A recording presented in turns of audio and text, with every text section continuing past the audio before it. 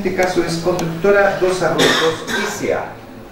Acompaña cómputo y presupuesto, análisis de precio, plan de trabajo en pesos y en porcentajes y curva de inversión en pesos.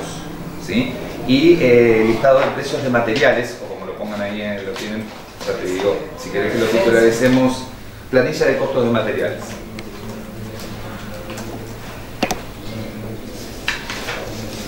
Esta documentación se encuentra por triplicado y acompaña un soporte digital en disco compacto. Y Constructora Dos Arroyos S.A. cotiza por el importe de pesos de 7.630 millones 2.740 con 67 centavos. Repito, Constructora Dos Arroyos cotiza por pesos 7.630 millones 2.740 con 67 centavos. El número del empleado es 7.630.002.740,67. ¿Bien? Perfecto. ¿Sí? Bueno, entonces, Norvial ARC SA acompaña en su sobre número 2 cómputo y presupuesto, análisis de precio, plan de trabajo que acabamos de hacer ahora mismo, en, no, está absolutamente en pesos, plan de trabajo en pesos y curva de inversión en pesos, o plan de trabajo y curva de inversión en pesos. Eh, asimismo también te lo dije como eh, planillas de precios de referencia. Esta documentación se encuentra por triplicado y acompaña un soporte digital en disco compacto. Y Norreal Arc S.A. cotiza por pesos 6.331 millones 971.658 con 36 centavos. Repito, Norvial S.A. cotiza por la suma de pesos de 6.331 millones 971.658 con 36 centavos. ¿Bien? ¿Perfecto? Es Pablo Pietroboni, ¿es así el nombre? ¿Sí? Lemiro eh, Pablo Pietroboni S.A. acompaña cómputo y presupuesto, análisis de precio, plan de trabajo y curva de inversión en pesos y eh, lista de precios de referencia, el 82. Ajá. Bien. ¿Está? Muy bien. Esta documentación se muestra por triplicado y acompaña un soporte digital en disco compacto.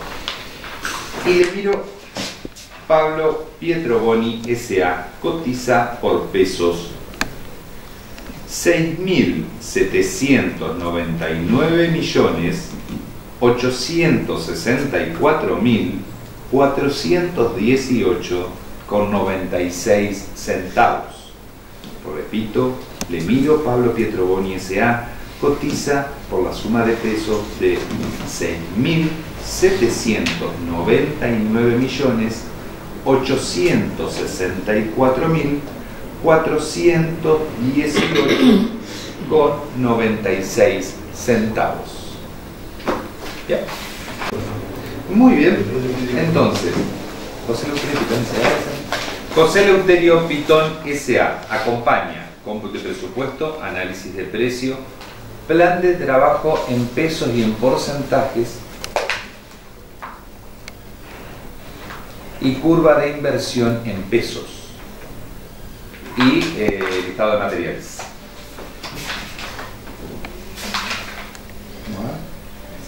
Ajá, precios de referencia, perdón, perdón, eh, bien corregido, precios de referencia.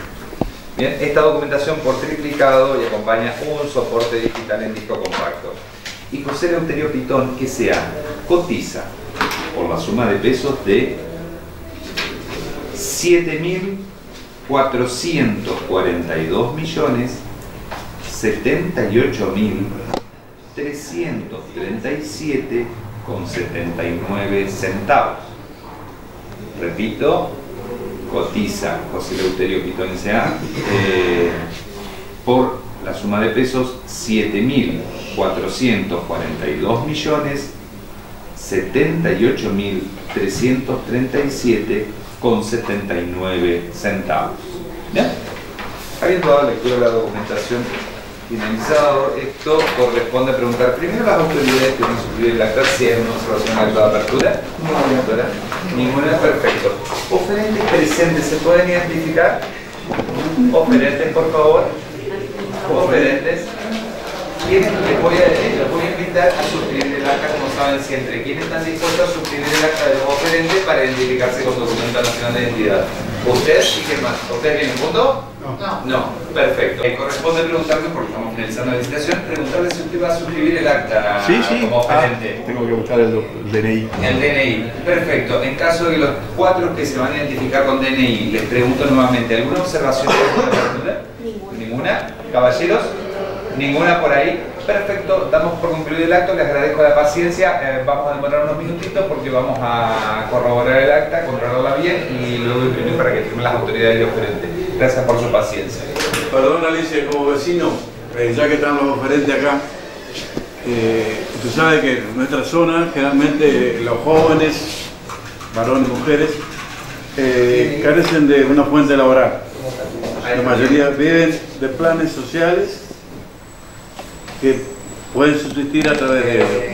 O sea, sería interesante que por ahí lograr un compromiso informal por parte de los oferentes, aquella empresa que resulte eh, adjudicada, que se considere la fuente laboral de aquellos jóvenes, que son muchos, que tenemos en nuestro grupo. Eh, No, que tiene que dedicable ser, la no, en empresa foto no tiene que ser el de original.